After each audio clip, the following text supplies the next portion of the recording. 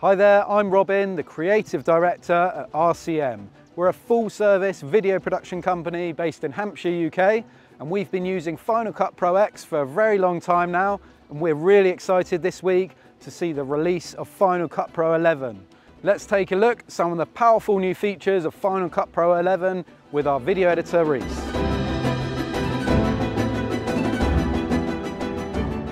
The new Final Cut Pro 11 update is really going to enhance and streamline the editing process, and it has some amazing new features I can't wait to utilise. But there's only one place to start, and that is with the new Magnetic Mask tool. This tool helps you cut out anything from any clip without the need for a green screen or any tricky rotoscoping. Simply go over to the Effects tool, once you've dragged that onto the clip, use the drop tool to select the two subjects that you want. And once you're happy with how the masks look, you can click analyze and it is done in seconds. I cannot believe how fast this is. And look at that, that is pretty seamless with one click of a button. The next amazing feature that I know is going to enhance the videos here at RCM and me as an editor is the transcribe captions tool.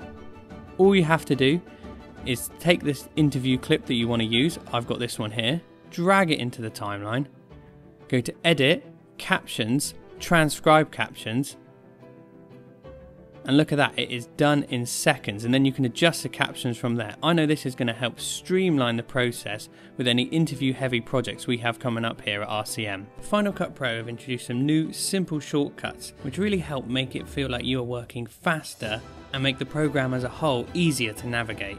Something they've drastically improved is the clip priority order. And what I mean by this is when you have a stack of clips on your timeline with lots of b-roll, you used to have to click V to mute the clips.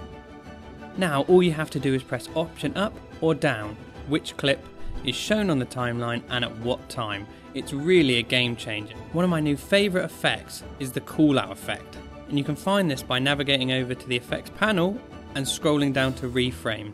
This call out effect lets you highlight anything in the clip that you want to prioritize. Take this clip for example, where I really want to show off what I'm looking at on the screen.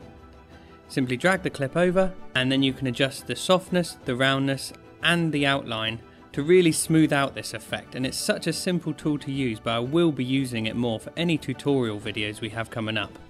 Overall Final Cut Pro 11 feels like a massive step up and has introduced some amazing new features that I've only scratched the surface on in this video as I know I'll be pushing the boundaries of what these features can do.